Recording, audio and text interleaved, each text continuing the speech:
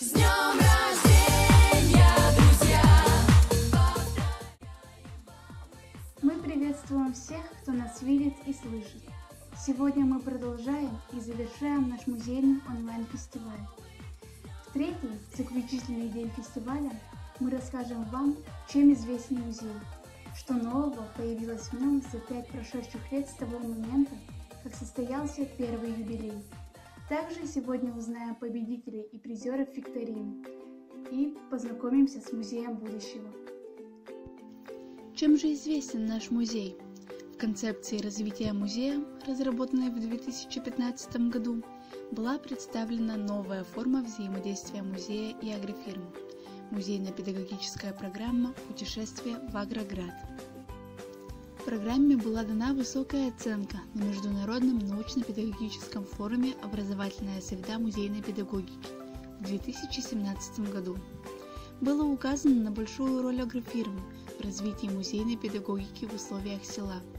Директор агрофирмы Николай Викторович Харькин отмечен почетной грамотой Международной академии детско-юношеского туризма и краеведения. Путешествие в Агроград – часть экскурсионного тура «Один день в Среднеевкино». У нас побывали юные туристы из Микишей, Верхожижемья, других населенных пунктов района, а также из Слободского, Кирова. Агротур вызывает интерес и у взрослых гостей, посещающих наше село. В один из приездов в Среднеевкино музей посетил губернатор Кировской области Игорь Владимирович Васильев. Он сделал запись в книге отзывов Низкий поклон за неравнодушное отношение к малой родине. На основе музейных материалов в течение пяти лет шла работа над книгой «Среднивкино. Село, в котором хочется жить». Торжественная презентация книги состоялась в сельском доме культуры. Книга с успехом участвовала в Кировской областной выставке «Вятская книга года 2018». 3 августа 2019 года Среднеевкина отмечала свой юбилейный день рождения – 310 лет. Во время сельского праздника односельчанам и гостям была представлена историческая реконструкция из хроники минувших лет, идея которой принадлежит директору Дома культуры Елене Васильевне Черных. Большое количество предметов старины для реконструкции было взято из фондов музея. Интересную идею домашнего музея «Мамина комната» предложила библиотекарь Галина Леонидовна Комарова. Проект использования такого музея в работе с детьми разработала Блинова Елизавета, будучи ученицей 10 класса. Лиза стала победителем финала Всероссийского конкурса среди активистов школьного музейного движения в номинации «Семейный музей». Общей заслугой всех, кто причастен к нашему музею, является присвоение звания «Образцовый школьный музей Кировской области». В 2016 году это звание присвоено на постоянной основе. На протяжении трех лет на базе музея проводилась опытная экспериментальная работа. Шел педагогический эксперимент по теме диссертации «Формирование гражданской идентичности сельских школьников музейно-педагогической деятельности». Эксперимент имел положительные результаты. Защита диссертации прошла успешно. В сентябре 2016 года Министерство сельского хозяйства Российской Федерации проводило конкурс «Моя земля. Россия». Журналистка ГТРК «Вятка» Наталья Зорина подготовила радиопередачу «Музей для любимого села» о нашем музее и стала призером. Передача транслировалась во многих регионах страны. Здравствуйте, уважаемые радиослушатели! Эфир Радио России продолжает цикл передач, посвященных 80-летию образования Кировской области и 220-летию образования Вятского края. У микрофона Наталья Зорина. Сегодня в Кировской области работает 99 школьных музеев. В середине марта три лучших из них были представлены в Москве определили в ходе регионального этапа Всероссийского смотра конкурса, посвященного 70-й годовщине Победы в Великой Отечественной войне. Сегодня я расскажу вам об одном из этих музеев. Вообще-то он не совсем школьный. Это музей истории села Среднеевкино. В этом году ему исполнилось 12 лет. Не так много, скажете вы. Верно, музей еще пока молодой. Но посетив его, вы ощутите настоящий дух истории истории малой родины. Само село Среднеивкино – это уникальный и живописный уголок Вятского края. А как любят родное село его жители. Каждого, кто приезжает сюда в гости, сразу ведут в музей, где история малой родины представлена от истоков до наших дней. А любим музей среднеивкинцами еще и потому, что каждый в его создание внес свою лепту, рассказывает руководитель музея истории села Среднеивкино Светлана Огородникова. Наш музей необычный, уникальный. Он создавался всем миром, но главную роль в его появлении и развитии сыграла наша агрофирма. Мы сотрудничаем с агрофирмой с самого начала, с самого момента создания. В этом году мы запустили новую программу «Путешествие в Агроград». Ее главная Задача, э, цель этой программы — способствовать приобщению наших ребят к осознанию себя сельскими тружениками, представителями сельского сообщества. Э, и мы э, во время этой программы проводим занятия как на объектах агрофирмы, так и в залах музея. И одно из занятий, например, посвящено было в этом году трудовым династиям. Инициатором создания музея и его меценатом стал директор агрофирмы Среднеивкина Николай Харькин.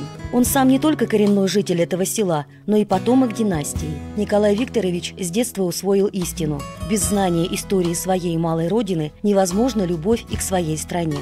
Потому к истории села он приобщает даже самых юных среднеивкинцев – уже в детском саду малышам дают задание подготовиться и рассказать о своих мамах и папах, бабушках и дедушках. И ребята трех-четырех лет с удовольствием повествуют о своих семьях.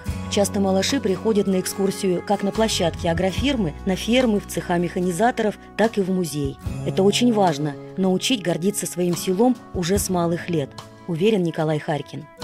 Дети должны знать, где их родители работают, чем они занимаются. Они должны гордиться родителям. И э, в будущем, это сейчас они детский сад, затем они в школе.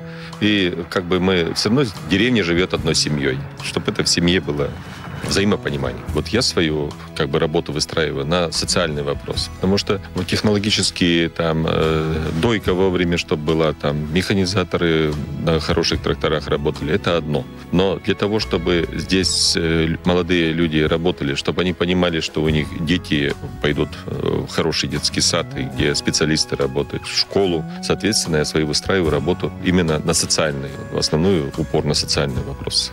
Это, конечно, дорогостоящее, это требует больших затрат, но мы решили в коллективом, что мы на это идем и получаем практически результат с того. В музее принцип «трогать руками можно все». Он поистине народный. Создать его мечтали с 1948 года, но лишь через полвека был написан проект, его представили на всероссийском конкурсе и получили медаль Януша Корчика. После этого идею начали воплощать, говорит директор музея Светлана Огородникова. Мы проводили целые э, этнографические экспедиции по деревням. Мы объявили конкурс среди детей и учителей и родителей «Самый уникальный экспонат». Здесь у нас буквально был вал этих предметов, и мы, дел... мы имели возможность сделать отбор. Мы их летом по всей территории нашего школьного двора раскладывали, мыли, сушили. В музее практически каждый день проходят экскурсии, уроки, ребята и взрослые делают и научные доклады, и представляют музыкальные композиции. Вот, например, один из музейных проектов семьи Возисовых. В начале мая на районном фестивале проектных и исследовательских работ «Дорога и открытий» они представили музыкально-поэтическую постановку «Береза – символ России». Младший из семьи, пятиклассник Степа, продемонстрировал фрагменты экскурсии, посвященной березе. Белый цвет спасает березу и от солнечных лучей, и от зимних морозов. Береза – дерево лекарей. Ее листочки используют как заживляющий пластырь при ранах и ожогах. Ее почки используют в народной медицине. Также лечебным средством является березовый сок. Почти вся домашняя утварь делалась из березы. Корзины, плетеные короба, ложки. Из березы мастера изготавливали бураки, в такой посуде, словно в термосе, вода не замерзает даже в самый трескучий мороз. Степу поддержали родители Наталья Валентиновна и Сергей Семенович, а также брат Семен музыкальными номерами. И тоже про березу. Я брел наугад по весенним протокам, И Родина щедро поила меня березовым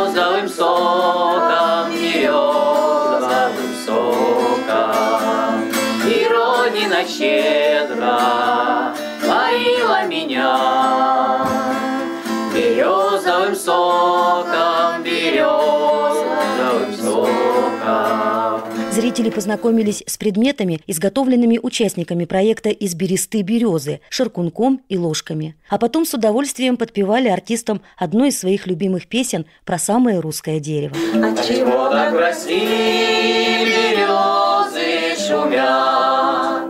Отчего хорошо так гармошка играет? Пальцы ветром по кнопочкам раз пролетят. А последняя, эх, западает. Совсем недавно в клубе интересных встреч музей принимал Виктора Крутихина. Для старшеклассников провели экскурсию «Человек, объездивший весь мир». Ребята узнали, что Виктор Михайлович – выпускник Среднеивкинской школы 1980 года. Он объехал многие страны мира, участвуя в международных лыжных марафонах. Стал мастером спорта, получил золотую медаль «Мастер международных марафонов». Во время беседы Виктор Крутихин рассказал о себе, о своем детстве, об увлечении лыжами. Школьники с интересом рассматривали награды знаменитого земляка-лыжника. Вообще спортивными наградами в селе гордятся, а символы Олимпиады приносят на хранение и всеобщее обозрение в музей. Директор агрофирмы Николай Харькин был факелоносцем предстоящей тогда Олимпиады в Сочи. Исторический факел выкупил и подарил музею. А семья одиннадцатиклассницы Юлии Жеребцовой также передала музею села другой атрибут стартов четырехлетия. В прошлом году мой папа ездил в Сочи на Олимпиаду со специальным флагом, который он заказал для того, чтобы туда съездить и показать наше село. Привез с собой билеты, где написано, на какие соревнования он ходил, и также символы Олимпиады, которые стали нашей семейной реликвией. И еще здесь есть одна награда, которой особенно гордятся селяне. У меня в руках э, серебряная медаль ВДНХ. Этой медали была удостоена агрофирма в прошлом году за то, насколько агрофирма э, вкладывается в социальную сферу. И семейные реликвии, и дорогие сердцу награды, современные и старинные вещи до сих пор несут в школьный музей со всей окрестности. С гордостью говорит Светлана Огородникова. Сейчас, зная, что музей такой есть, э, нам э, дарят экспонаты. Экспонаты очень ценные. Вот в прошлом году, например, было такое очень большое поступление э, ценных вещей, старинных. Мы их рекламируем, стараемся отмечать наших дарителей. Ну, то есть вот работа идет, продолжается. Музей экспонатами продолжает пополняться. Нас это очень радует. С предметами старины соседствуют их современные собратья. По словам экскурсоводов, которые учатся в соседней школе, экспонаты для выставки собирали всем селом. Поэтому здесь все настоящее. От книг, которые уже изрядно потрепало время, до старинной мебели. Потому самые любимые уроки для школьников – уроки музейные, говорит ученица 11 класса Наталья Блинова. Наглядность очень помогает, и вообще даже можно почувствовать иногда через предметы, как люди жили, например, или как солдаты воевали, вот, например, их пища, как они питались. Очень интересно. Здесь проводятся не только уроки истории, например, урок иностранного языка. Так, изучая немецкий, ребята угадывали голоса птиц и знакомились с немецкими поговорками о малой родине. Коллективно читали стихи о родной стороне на немецком языке.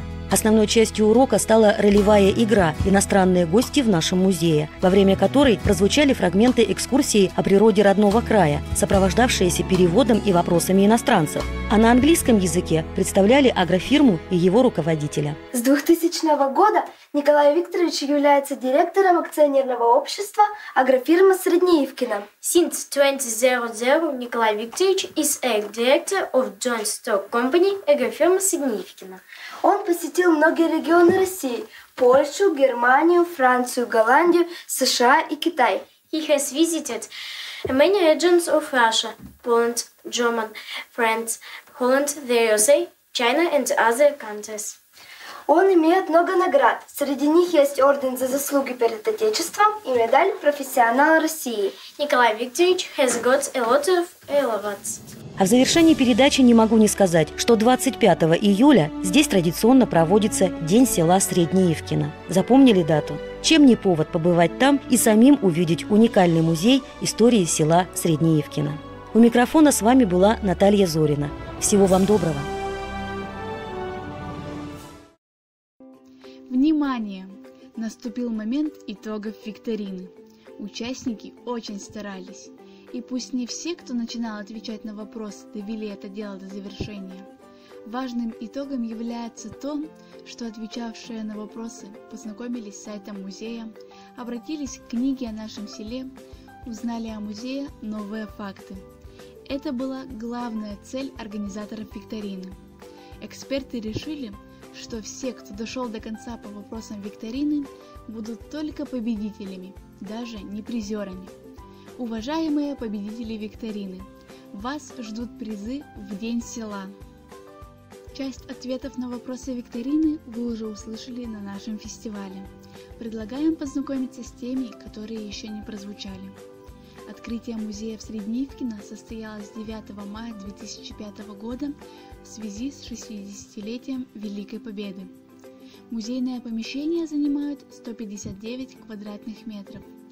Экспозиционные залы в музее имеют названия природно-исторический, советский, от коммуны до агрофирмы. В фондах музея находится более 1500 музейных предметов. В 2006 году впервые был проведен День музея. Экскурсия «Человек, который сделал себя сам» посвящается директору агрофирмы Николаю Викторовичу Харькину. «Моя родная деревня Сутяга в начале третьего тысячелетия» – исследование, которое выполнил под руководством Конышевой Татьяны Анатольевны нынешний глава сельской администрации Александр Геннадьевич Протасов, когда учился в школе. Китель полковника медицинской службы музея появился благодаря директору Института русской литературы Российской академии наук Валентину Владимировичу Головину. Экскурсия Возисова Степана называется «Береза – символ России», имеет форму экскурсии концерта. Выпускник 2011 года Новокшонов Николай проводил экскурсии в течение всего школьного периода, начиная с третьего класса. Ткацкий стан в собранном виде появился в музее благодаря Любовь Аркадьевне Журавлевой и ее маме Татьяне Павловне Поповой. В музее находится олимпийский факел, подаренный участникам олимпийского пробега. Подготовлена экскурсия о поездке среднеевкинцев на Олимпиаду. Музей в день своей свадьбы посещали Попцова Александр и Елена, Шараповы Роман и Татьяна. Вот такие ответы к вопросам викторины преддверии юбилея было также предложено выполнить творческую работу «Каким я вижу музей будущего». О музейном будущем помечтала ученица 6 класса Алена Бажина. Она представила музей в форме песочных часов, которые будут символизировать время. Внутри музея будет 100 залов на четырех этажах. С посетителями будут общаться роботы-экскурсоводы. Ученица 9 класса Милукумова Анастасия представила, что в Музее будущего для посетителей все экспонаты будут оживать с помощью 3D-очков. Выпускница 2015 года Екатерина Блинова пожелала музею продолжать жить, внедрять современные технологии, а самое главное – продолжать наполнять положительными эмоциями тех, кто приходит в музей. Учитель русского языка и литературы Елена Петровна Суворова предложила семь идей, касающихся будущего музея. Например, создать архив видеоэкскурсий, организовать встречи у бабы Нюры за столом в самовара с вятским говорком. Галина Леонидовна Комарова считает, что будет интересно создавать на основе нашего музея мини-музеи, вышитых картин рукодельниц, печных или кузнечных дел, деревенский колодец – как вы считаете, такое возможно? Ну вот и подходит к концу наш музейный онлайн-фестиваль. Мы рассказали о некоторых значимых событиях в жизни музея. Но это еще не все. Есть много другого, чем живет музей. Это и ставшая традицией встреча учителей и ветеранов музея 1 сентября, это дни и недели музея, это многочисленные гости из разных мест – и представления музея на различных конференциях и форумах. А пока мы говорим вам до свидания. Спасибо, что были с нами. До следующего юбилея музея села Средневки.